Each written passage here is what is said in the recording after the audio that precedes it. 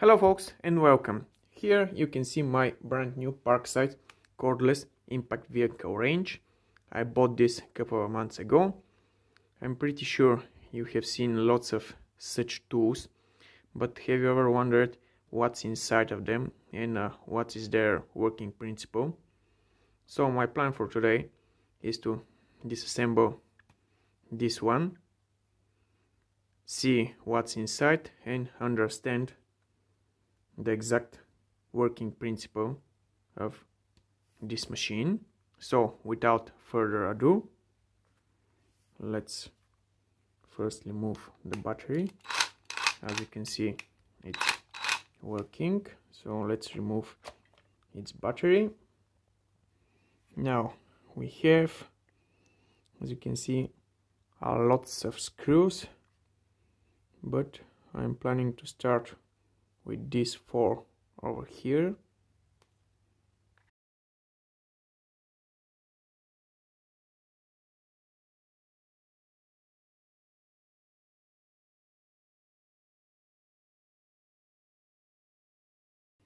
Let's be careful right now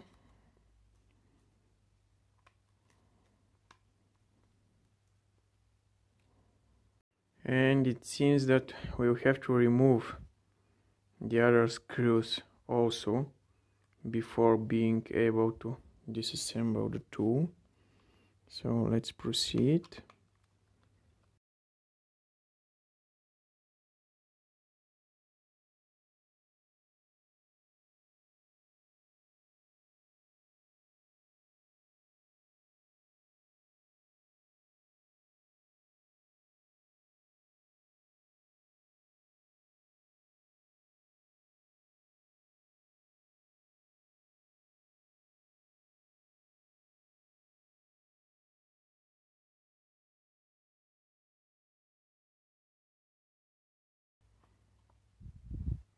and it seems.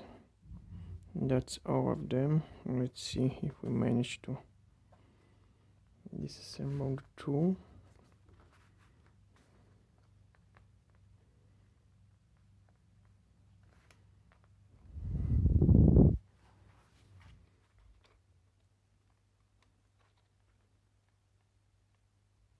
and success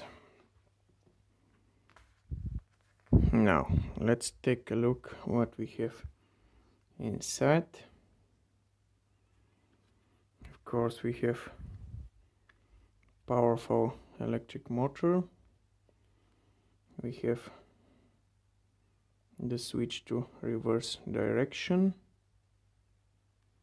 We have some control board over here with the LED lamp and a switch for changing the torque settings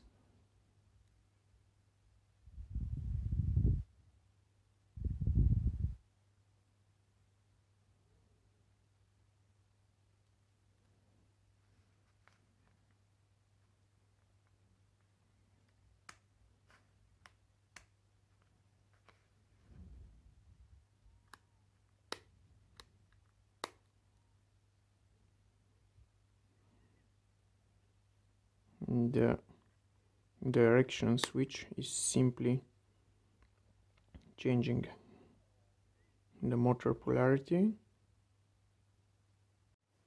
So finally I managed to remove the hammering mechanism of the impact wrench for us to take a better look at it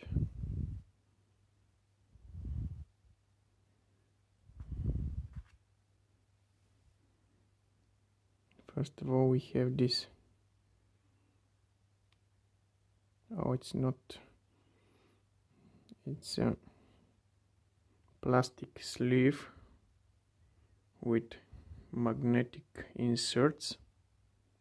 And it goes like this. Next we have this bearing but I will need some sort of paper because it's quite oily. Now let's remove the bearing. Okay. And now let's try to remove the whole mechanism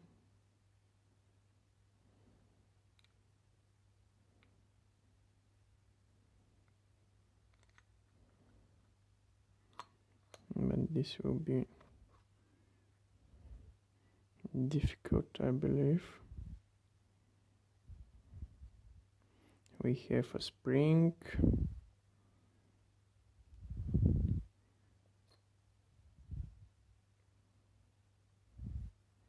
So here we have only a bearing left let me see if it's a bearing or it's a sleeve. No I think this is only a metal sleeve. Leaving it like this. And here we have the whole impact gun mechanism. Here we can see the anvil and the hammering part. After removing most of the grease, this is what I managed to disassemble from the hammering mechanism without totally destroying anything. First of all, we have the metal casing, which is made of solid aluminium, which is understandable because of the forces applied inside. We have here uh, aluminium losher and of course a lots of grease Next we have the so-called anvil. This is the part that is protruding out from the casing and this is the part where you attach your socket.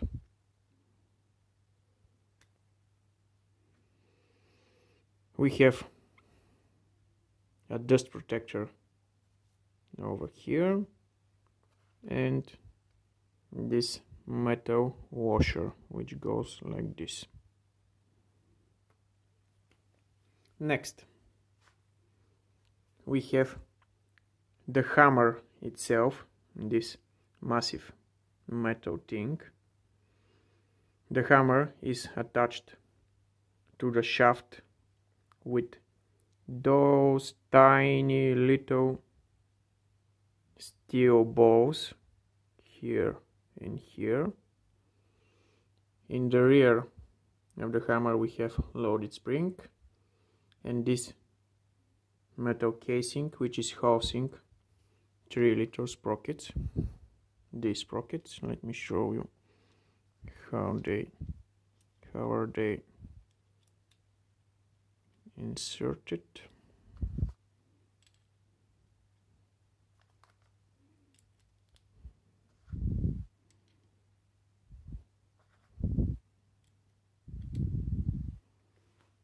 like this.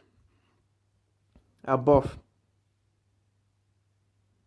the sprockets and their housing we have this gear wheel which goes like this.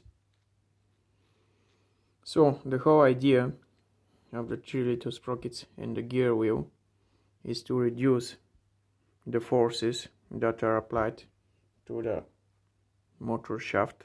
Otherwise those forces will simply destroy the motor or the plastic casing of the impact wrench and etc now let me show you how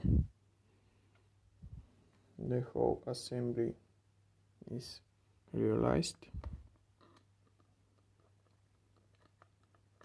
Of course here we don't have the metal casing which goes above everything. But you have to remember that the gear wheel is not moving. The only thing that is moving is the hammer, its shaft, the spring and the sprockets. So when the motor is rotating,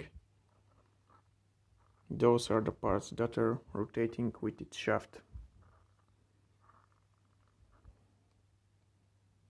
now let me remove it let me disassemble the sprockets and eh? their pins.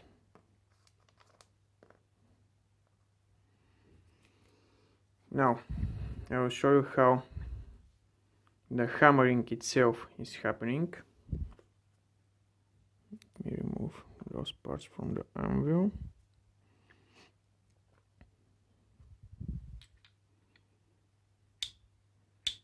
This is what we all mean under hammering. But how is this happening?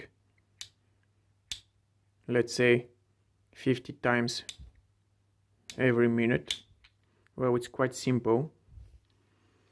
When there is a force holding the anvil stationary and the motor is running and rotating the hammer will hit the anvil.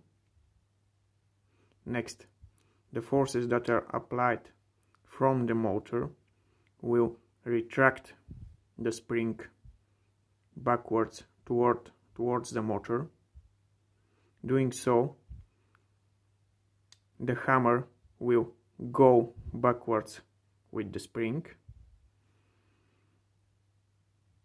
It, it will be something like this then the hammer will go under the anvil. And when the hammer is no, and when the teeth of the hammer those two parts here are no longer under the anvil the spring will expand and the hammer will end up in this position now the motor is running and we'll rotate the hammer once again and we will have another hammering over the anvil. So basically this is what's happening. Impact spring retraction. Again impact spring retraction again impact. Let me show you how the retraction of the spring is done. When the motor is applying forces I will be holding the hammer. The motor is applying forces. You can see how the spring is retracting. Let me show you once more over here and you can see how the shaft is going upwards. But when this whole thing is in the casing the shaft is stationary it's not moving. The hammer is going downwards. So basically this is how the hammering mechanism is realized in this impact wrench. I finally understood the purpose of this metal washer with two magnets inside. It's for reading the speed of the motor. Inside this plastic casing there is a speed sensor which is delivering information to the control board so folks it's finally time to reassemble my impact wrench here I have my green grease. Let's start with inserting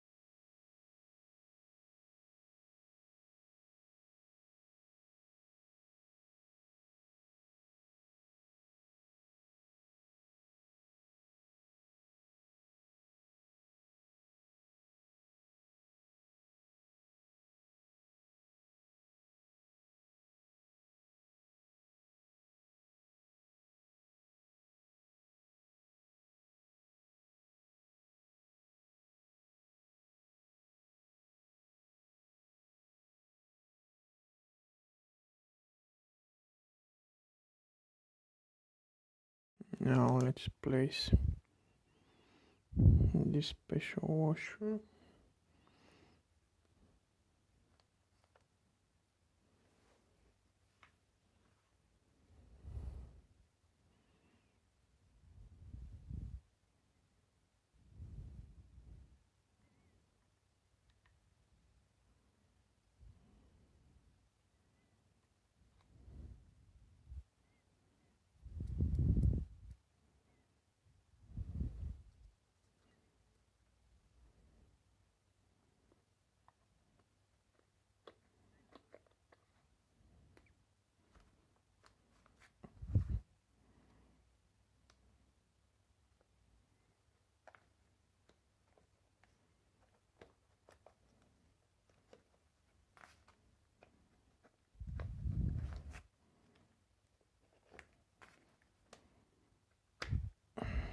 and here we go we have fully assembled mechanism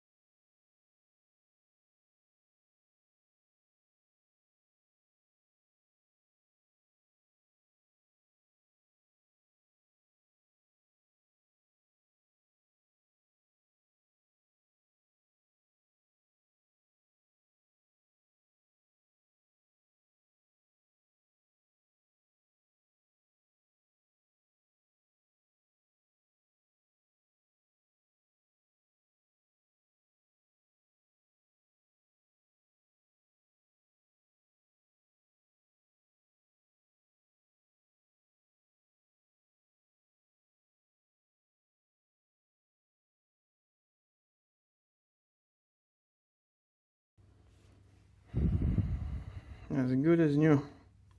It's time to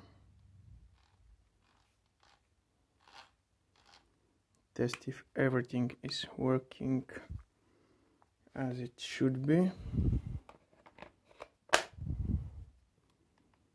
We have power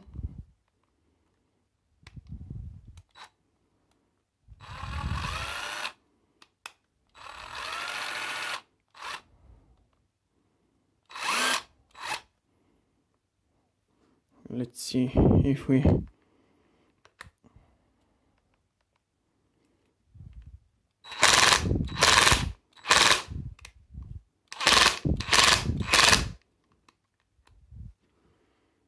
and that's all folks. If you like the video thumbs up and subscribe